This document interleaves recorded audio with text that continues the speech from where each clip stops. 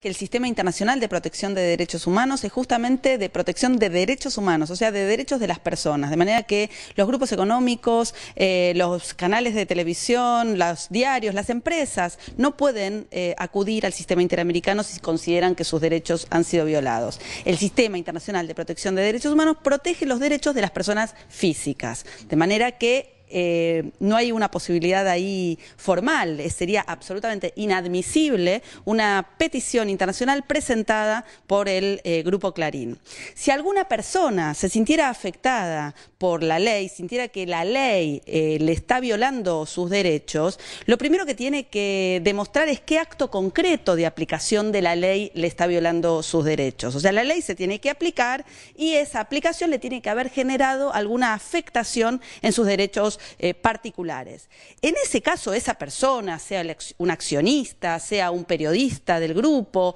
o sea un ciudadano que sintiera afectado su derecho o sus derechos, el sistema interamericano no creo que incluso en ese caso acepte la denuncia de un particular, de una persona que sienta afectada sus derechos por la aplicación de esa ley, porque para el sistema interamericano como para el Sistema Internacional de Protección de Derechos Humanos, la ley argentina, la ley de servicios de comunicación audiovisual, respeta ampliamente los estándares de derechos humanos. Y sabemos que la justicia de nuestro país, lamentablemente, es proclive a aceptar incluso reclamos dilatorios. Eh, de manera que tenemos que estar preparados para saber que esto puede ser así, reclamar a la justicia que no acepte eh, planteos dilatorios, chicanas. Eh,